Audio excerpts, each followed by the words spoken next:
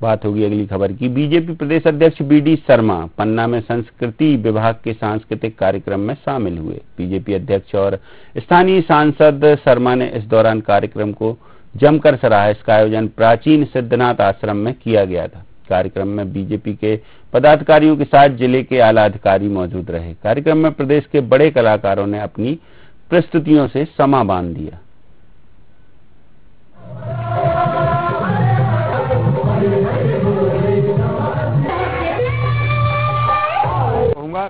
हम सौभाग्यशाली हैं कि भगवान सिद्धनाथ का जो मंदिर, जहाँ अगस्त मुनि ने तपस्या यहाँ पर की है, भगवान राम वन गमन पथ का ये एक हिस्सा है।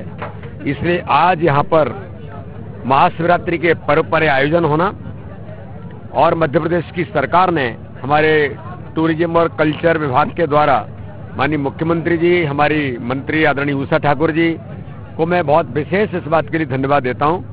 कि उन्होंने इस आयोजन के लिए भगवान सिद्धनाथ के इस स्थान को चुना।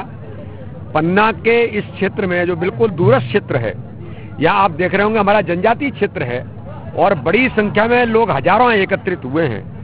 यहाँ वर्षों बाद भगवान सिद्धनाथ के इस मंदिर पर जो अगस्त मुनि का आश्रम है, यहाँ दक्षिण के लोग भी बड़ी संख्या में आते हैं।